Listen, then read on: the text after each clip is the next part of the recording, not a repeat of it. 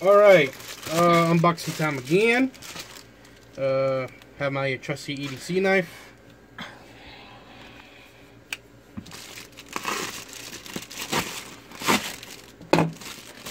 Five eleven, by the way.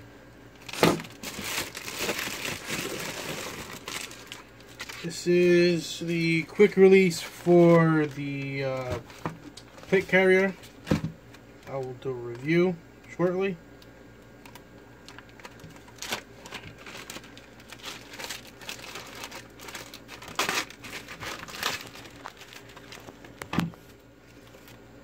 So yep, let's see if we can put one on. Alright, so now I'm going to demonstrate how you install it. I already have one installed. um, so now, first things off is you fold this. If you have, if your cummerbund has a Velcro, you just fold it over, and then you take this piece. Make sure it's oriented the right way, because if not, uh, it won't work for you. So what you do is you take the bottom part, shove it in, then you take this piece, shove it through the MOLLE on the, on this section right here. Then you take the top piece, put it behind this MOLLE and that piece. Bring it down. Then you take this piece, the very last one,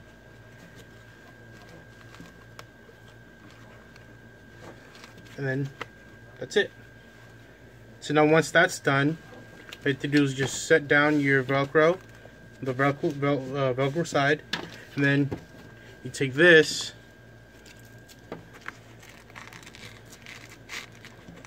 put it through,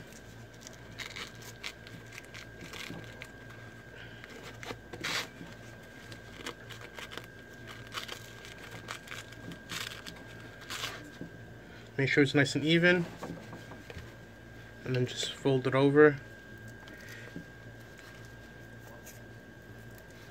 And that's this is just basically so this doesn't come out, even though it's velcroed on, but that's just an extra safety measure.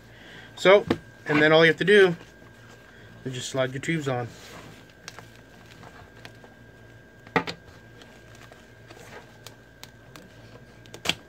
That's it. So now I'm going to demonstrate how you uh, actually put it on, or as what they call done off. Alright, so now I'm going to show you how easy it is to uh, take off your plate carrier with these uh, quick release boxes. You see I already have one side off. And it doesn't matter what side, it's pref uh, preference I guess.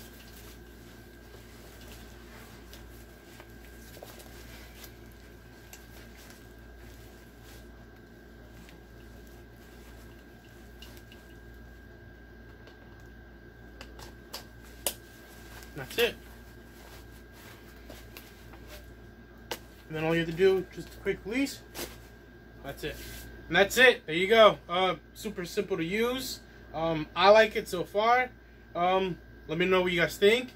Uh, like, comment, subscribe, and I'll see you guys in the next one. Peace.